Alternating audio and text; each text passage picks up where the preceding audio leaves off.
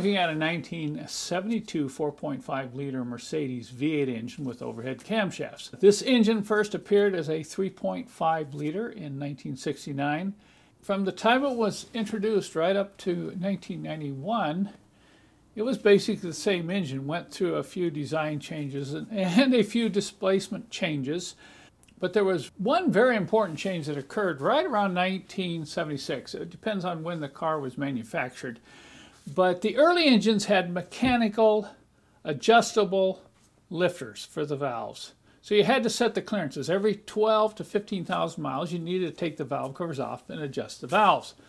When they came out with the CIS injection in uh, 76, they went to hydraulic lifters. And we still get a lot of confusion. I, just last week, I got an email. A guy had a 1984 50 SL and he wanted to know how to adjust the valves. Well, they're not adjustable because they're self-adjusting hydraulic lifters.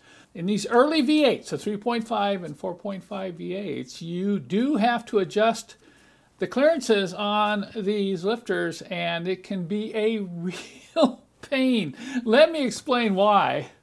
So let's say you get one of uh, the early Mercedes with this engine, maybe a 450 SL or like this came out of a 280 SE 4.5 and you read up on doing a valve adjustment. You think, man, that's pretty easy.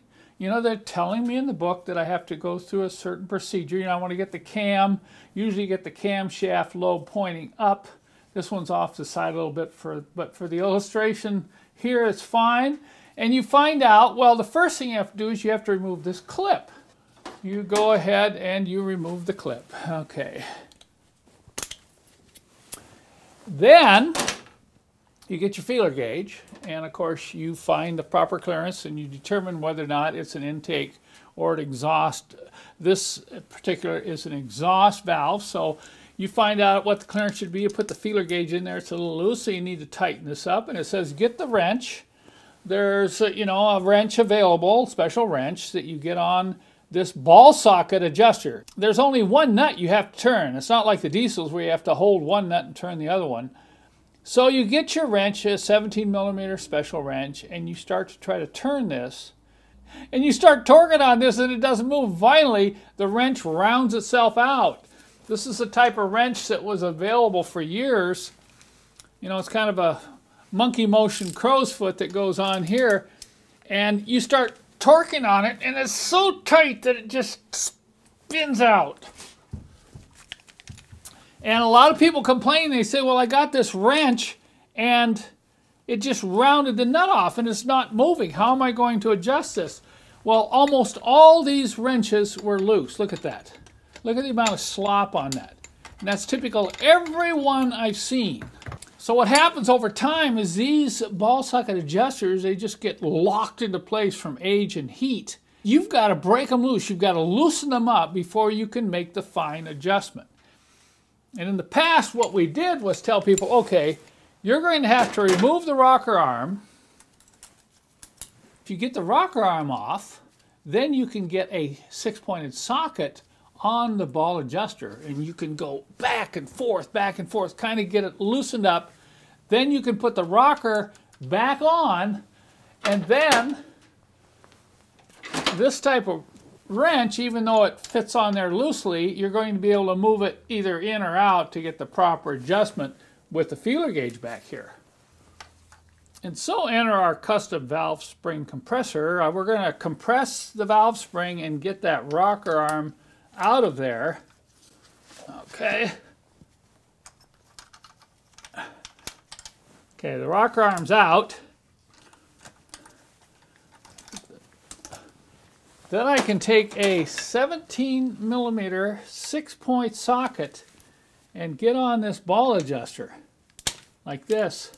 And when it's real tight, you're going to really have to torque on it to get it to move.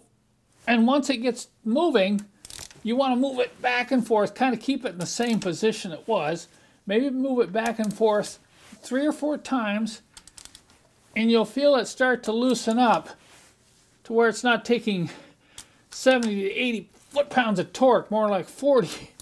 All right, now once it's moving like this, then we're going to compress the spring and slide this straight in like this. Okay. And when you're done, there should be just a little bit of play. If, if you don't have any play here and the, and the lobe is up, it means you're way out of adjustment. Or if there's a lot of slop, you got to check and make sure you didn't pop that keeper out on top of the valve spring. Now let's take that original wrench, which was typical of the wrenches available for years, and watch this now. See, I can move it. So once you've got the ball socket adjuster to move, having a real tight fitting crow's foot is not that critical.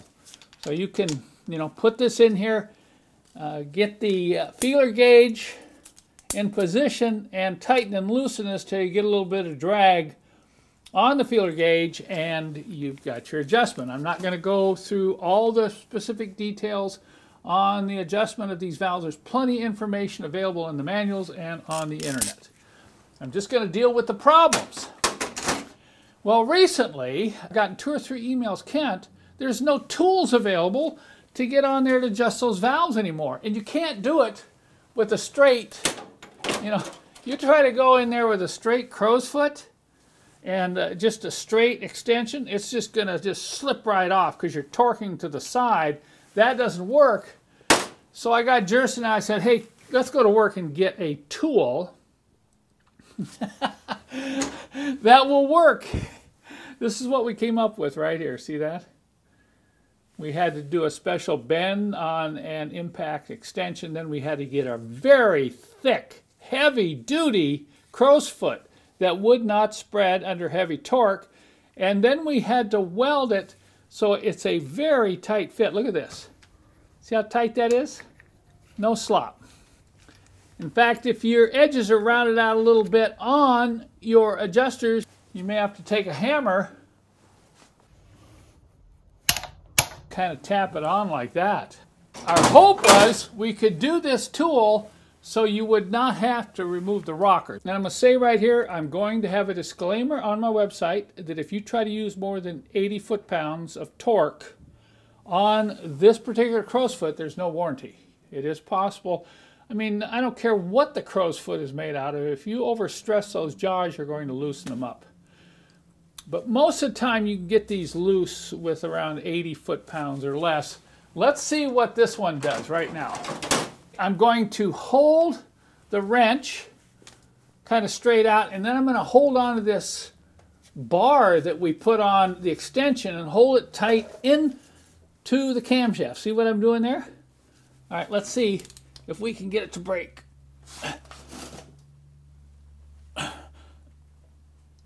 Okay, I got it. Look at that. Then I can reverse. Hold it in tight. Man, that's tight. I'm getting too old for this. Once you get it to move a couple times, like that, I'd say three or four back and forth. Okay, now I can pop the clip off and get the feeler gauge in there and do the adjustment. And I did not have to remove the rocker arm. Now we're going to go into production on this special tool. And for those of you out there that have these early 3.5 and 4.5 V8s, don't neglect adjusting your valves because it will affect the performance of your engine.